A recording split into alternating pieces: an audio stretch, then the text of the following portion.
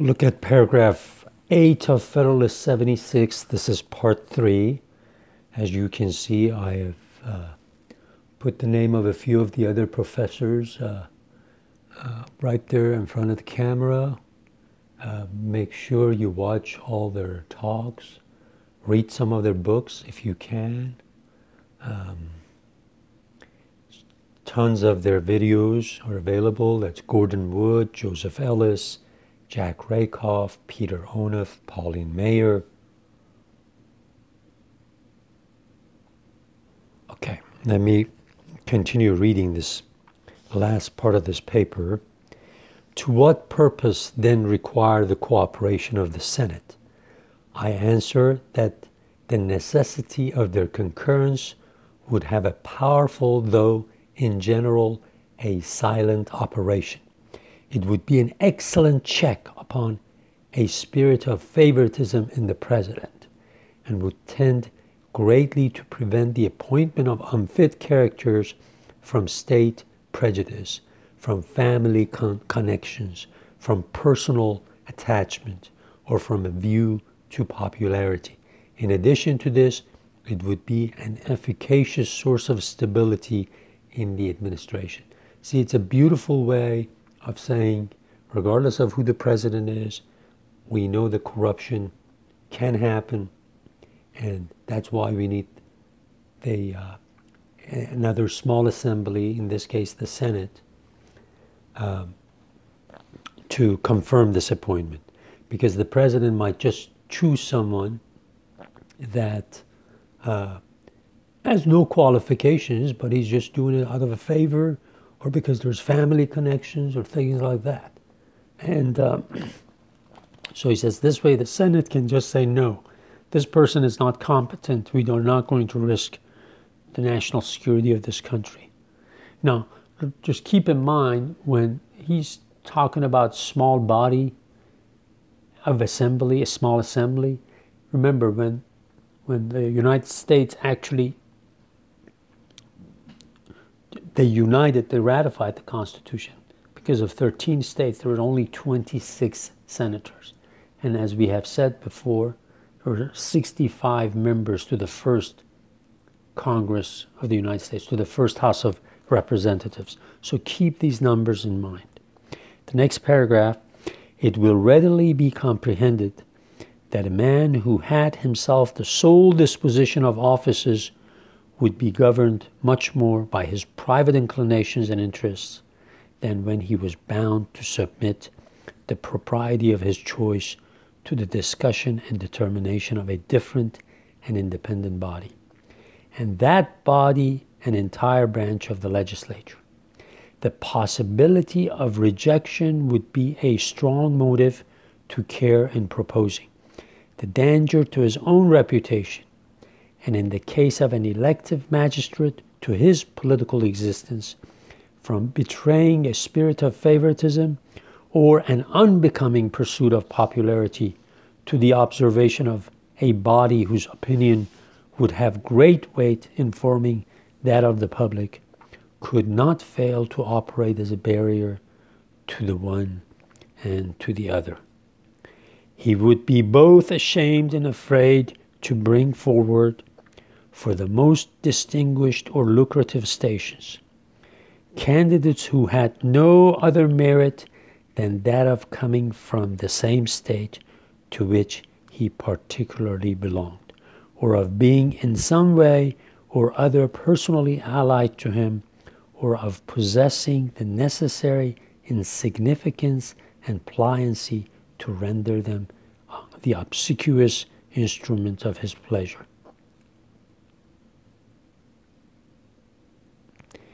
To this reasoning, it has been objected that the President, by the influence of the power of nomination, may secure the complaisance of the Senate to his views. This supposition of universal venality in human nature is little less an error in political reasoning than the supposition of universal rectitude. Remember, I told you he was criticizing human beings. He was he was uh, actually stating the fact that human beings are corruptible. He's always been saying this during these papers, especially with power comes possibly corruption. And here he says there are people that are going to talk about all of the Senate becoming, or part of most of the Senate senators becoming corrupt. And he says it is crazy to think that human beings are going to be like that. This supposition of universal venality in human nature is little less an error in political reasoning than the supposition of universal rectitude. Just like you would be wrong to say that all human beings are good, he says it would be wrong to say that they are all bad. The institution of delegated power implies that there is a portion of virtue and honor among mankind, which may be a reasonable foundation of confidence, and experience justifies the theory. So we are establishing this government thinking that there is a small percentage of people, he doesn't say it here, but when you read them, that's what they say. It's a special, small, small, very small percentage of people that will be virtuous enough and will put the good of their country before their own self interest.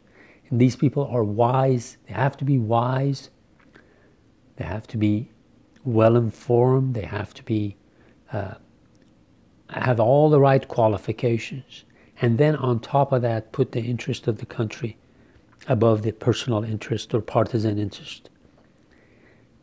If you were to read what what Hamilton and Madison really believed, they probably believe that maybe 1% of people would qualify. They don't come and say it, but they, uh, they just wanted to have the best. And amongst the best, the ones that were virtuous enough to put the interest of the country ahead. Okay, I'll continue reading. It has been found to exist in the most corrupt periods of the most corrupt governments. The venal- venality of the British House of Commons has been long a topic of accusation against that body in the country to which they belong, as well as in this. And it cannot be doubted that the charge is, to a considerable extent, well founded.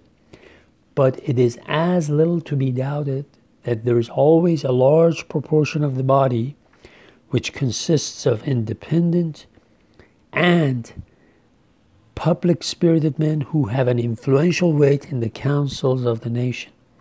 Hence it is, the present reign not excepted, that the sense of that body is often seen to control the inclinations of the monarch, both with regard to men and to measures. Though it might therefore be allowable to suppose that the executive might occasionally influence some individuals in the Senate, yet the supposition that he could in general purchase the integrity of the whole body would be forced and improbable. Improbable.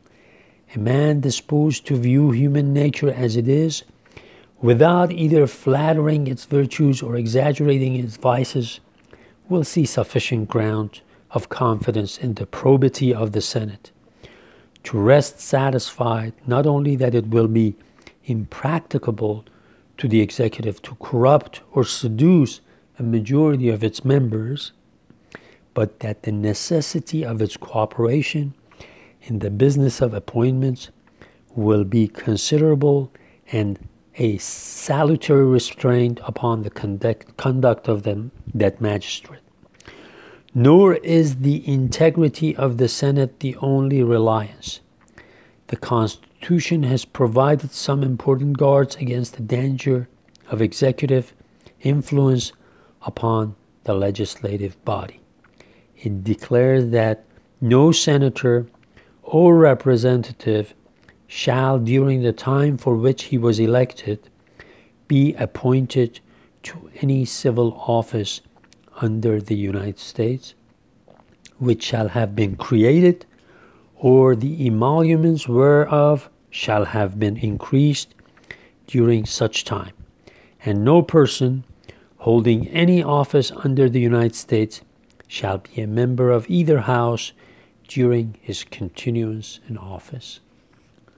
Uh, so uh, here are some of the other names that I've already mentioned to you, some of the other books, like this is a collection of essays, of Saving the Revolution, that I uh, think uh, it would be beneficial for you to look at. And of course, as I've spoken before, C-SPAN. C-SPAN is the ultimate source. Library of Congress is excellent. TeachingAmericanHistory.org. Uh, you can look at the text of the Federalist. You can see at the beginning there's a summary, uh, and many other things can be found there. Many other documents. National Constitution Center, lots of videos, lots of they have an app that could be used, National Archives. There's a book that I've mentioned before. It's called Beyond Confederation. And I think it's edited by two or three people. It's a collection of essays. That's an excellent book to read, Beyond Confederation. I'll write that down for you. I'll show you the book here in the next few videos yeah, I cannot emphasize enough the benefits of uh, uh, checking C-SPAN out. Uh, wonderful books, wonderful talks about books, and uh, especially American history. Uh, all the videos they provide, tours of the cities, tours of the national historical places. Uh, if you can't, if you're if you can't go to those locations because you just don't have the time, you can't afford to, you can't afford to, or you're living overseas, that's the best way of uh, learning about American history.